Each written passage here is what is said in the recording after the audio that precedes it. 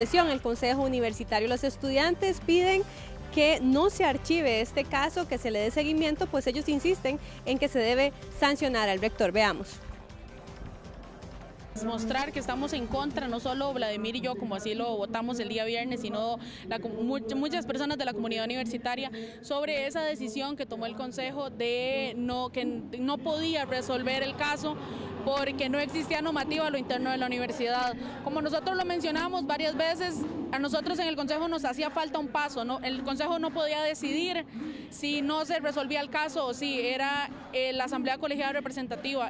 Nosotros creemos que lo más ético sería, bueno, pues una posible renuncia y si no, bueno, pues que se someta a los procesos administrativos y el debido proceso dentro de la comunidad universitaria, como es la Asamblea Plebiscitaria, en donde hay representación estudiantil y de todos los sectores de universidad y son quienes pueden decir si él es digno o no de seguir siendo rector de esta universidad. El sindicato planteó uno que consiste en convocar a la asamblea plebiscitaria donde se le puede revocar el nombramiento. Eso significa no disciplinarlo, sino que pase como funcionario común y corriente a su plaza que tiene como docente y se envíe su expediente a la comisión instructora disciplinaria docente.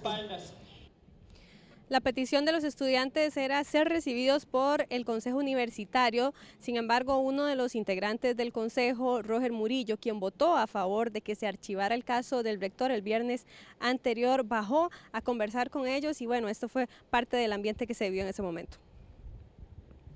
El Consejo, yo no vengo a hablar, yo no vengo a hablar primero por, por el Consejo Universitario, yo bajé como una cuestión mía, ¿ya?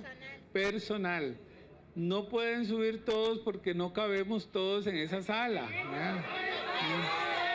Entonces,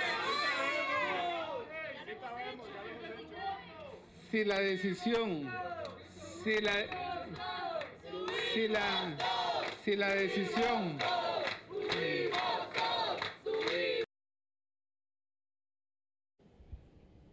Intentamos conversar con Yamile Angulo, quien es la presidenta del Consejo Universitario, y con el mismo rector de la Universidad de Costa Rica, Henning Jensen. Sin embargo, no respondieron nuestras llamadas. Según se nos informó, estaban en sesión del Consejo Universitario. Doña Laura, la información que tengo, más adelante estaría regresando con más información desde Casa Presidencial. Buenas tardes. Buenas tardes a Melanie Corrales.